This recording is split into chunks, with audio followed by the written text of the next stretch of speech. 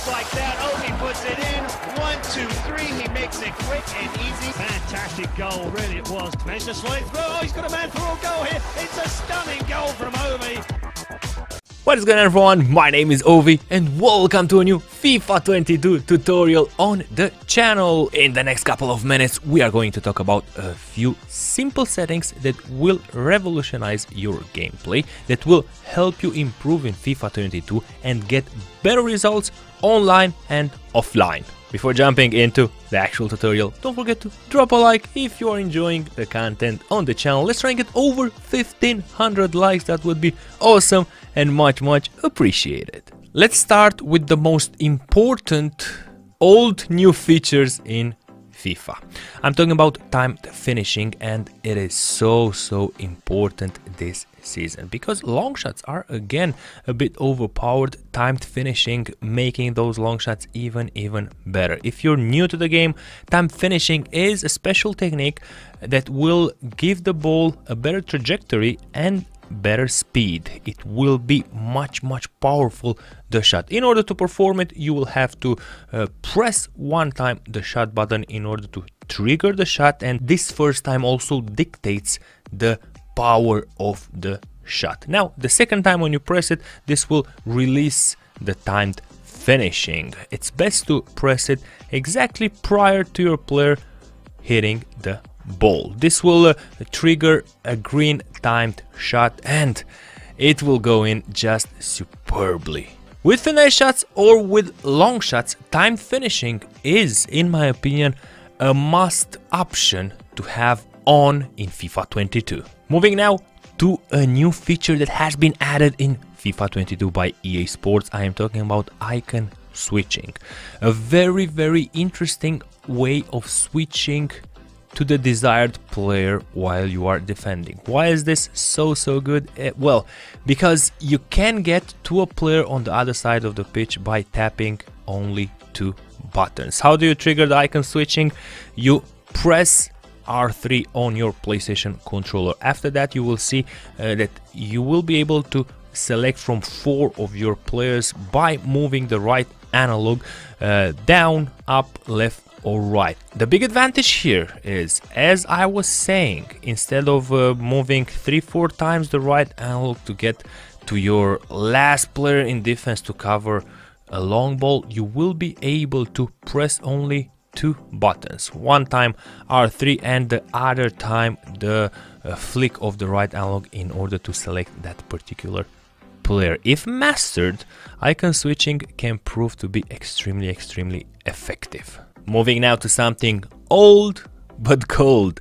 And I even did the mistake in FIFA 22 to not activate this option. I didn't put player indicator correctly as you are seeing now uh, on the screen and uh, I had my online ID over my players. Why is this bad? Why was this bad to my gameplay? Well, uh, I'm using a camera that is far away from uh, the pitch because I like seeing everything uh, on the pitch and at times I can't make the difference between my players. I'm too far away. I have my online indicator on the player and then I will have to look in the left downside or right downside in order to see the name of the player. Why is this so important? Well boys, FIFA 22, like previous FIFAs, is a very versatile game in which uh, weak foot matters, in which each player is different comparing with the other one. For example, in this particular uh, example right here, I might have missed the fact that I'm using Bruno Fernandes. I might have uh, thought that I use Sancho because my camera is far away. Or in this scenario right here, it's good to know that my player can do the finesse shot from long range. Else, if I don't know exactly which player I am uh, controlling, I don't know exactly what I can do with that particular player. Uh, you might say, yeah, but you're using Manchester uh, United, it's obvious which player which player is which.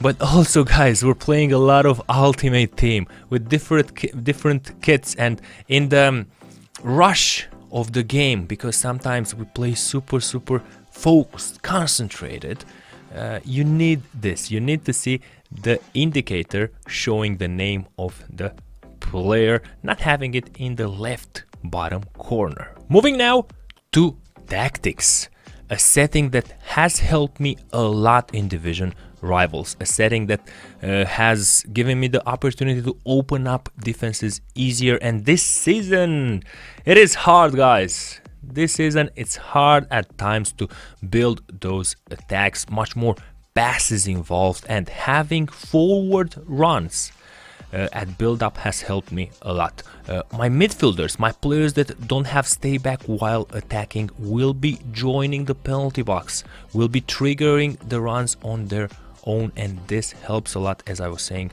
to open up uh, defenses. But very very careful here. This is super important guys.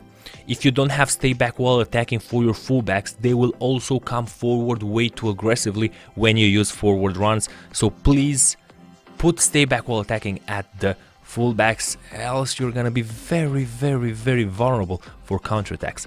Otherwise, forward runs works like a charm. If I play a 4-3-3 or a 4-1-2-1-2 narrow, uh, I do put stay back while attacking also for my CDM because I like to have him protecting me over there and not coming also in attack. There you have it boys, a few simple to set up settings that will help you improve a lot your game from uh, time finishing, icon switching, from having the player indicator with the player name over your player to forward runs, a nice tactic to use in attack. These are a few things that will make a big impact, a huge impact in your gameplay and hopefully bring you those extra W's. Also remember guys, these settings are not miracles. They will not bring you the wins if you don't practice it is very very important that if you want to have great results in online seasons, in division rivals, in FUT champions,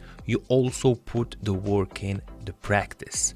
And best way to practice, in my opinion, has always been division rivals online. Play over there, career mode and squad battles is not necessarily the best way. Squad battles is good only uh, to get that practice for skill moves. I wanted to emphasize this so you don't believe that these settings are miracles. At the end of the day, you will still have to practice a lot your gameplay. Don't forget to drop a like if you're enjoying the content on the channel. Thank you all for watching. My name is Ovi and I will be seeing you in the next videos.